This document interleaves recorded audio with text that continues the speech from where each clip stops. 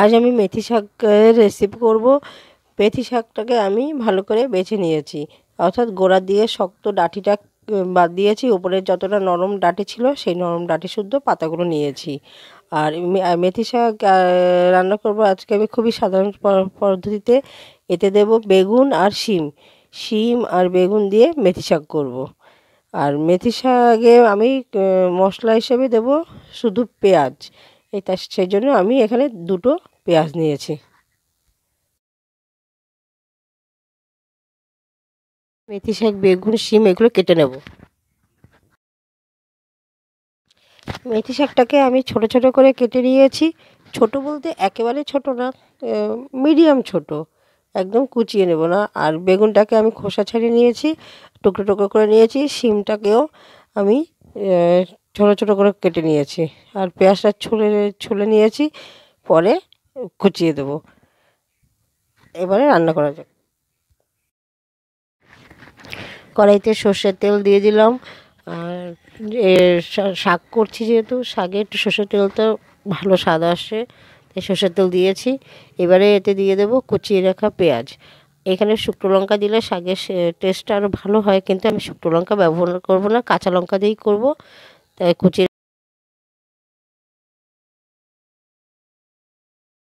পেঁয়াজটাকে হালকা লাল করে ভেজে নেব।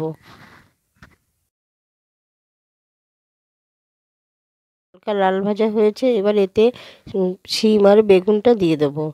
দিয়ে ভালো করে নেড়ে মিশিয়ে নেব।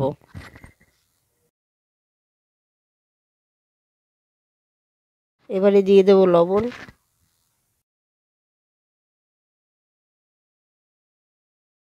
লবণটা দেওয়ার পর একটু ভালো করে নেড়ে নেব, যাতে লবণটা শিম ও বেগুনের সাথে ভালো করে মিশে যায়।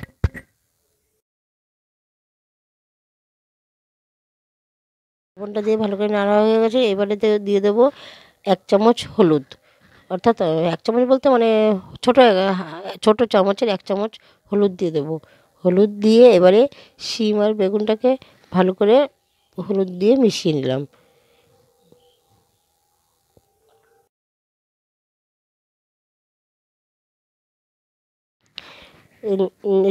জলটা অনেকটা শুকিয়ে আসছে আর কড়াইতে লেগে যাচ্ছে। তাই সামান্য জল দিয়ে একটু নেড়ে নেব। নাড়ার পরে ভালো করে একটু নেড়ে নেব যাতে কড়াইতে লেগে না যায়। এরপরে একটু ঢেকে দেবো। এবারে দিয়ে দিলাম চারটে কাঁচা লঙ্কা। আমি এখানে দেখলেন আমি শুধু পেঁয়াজ আর কাঁচা লঙ্কা ছাড়া কোনো মশলাই ইউজ করি আর লবণ, হলুদ। এবারে আপনারা আপনাদের স্বাদ অনুসারে ঝাল দেবেন। এবারে নেড়ে নিলাম। এক মিনিট পরে ঢাকনাটা সরিয়ে নিলাম। ঢাকনাটা সরিয়ে দেখুন জলটা শুকিয়ে গেছে, এবারে এটাকে একটু ভালো করে নিয়ে নেব, যাতে কড়াইতে লেগে না যায়। বেগুনগুলো বেশ নরম হয়ে আসছে, পুরো সিদ্ধ হয়নি, কিন্তু অনেকটাই নরম হয়ে আসছে। বেগুনের যে যে জলটা, সে জলটা বেরিয়ে গেছে। এবারে এর মধ্যে আমি দিয়ে দেবো কেটে রাখা মেথি শাক। এগুলো আমি ধুয়েই রেখেছিলাম। এবারে মেথি শাকটা দেওয়ার পরে বেগুন শিমের সঙ্গে একটু ভালো করে নেড়ে মিশিয়ে নেব। যাতে শিম আর বেগুনটা মেথি শাকের সঙ্গে ভালোভাবে মিশে যায়। এবার নেড়ে এটাকে আমি একটু ঢেকে দেব। ঢেকে দিলে শাকের মধ্যে যে জলটা থাকে, সে জলটা বেরিয়ে শিম আর বেগুনকে সিদ্ধ করে দেবে আর মেথি শাকটাও সিদ্ধ হয়ে যাবে।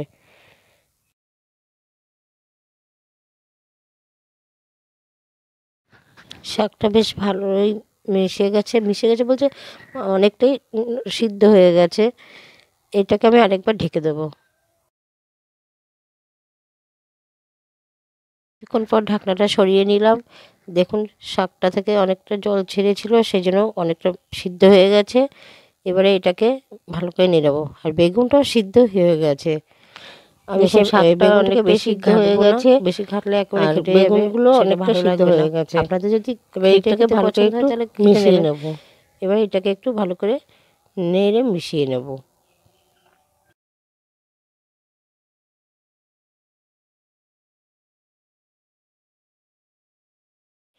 শাকটা প্রায় হয়েই গেছে। দেখুন বেগুন শিম শাক সবকটাই একেবারে সিদ্ধ হয়ে গেছে। তার মানে শাকটা হয়েই গেছে। এবার হাফ চামচ চিনি দিয়ে দিলাম।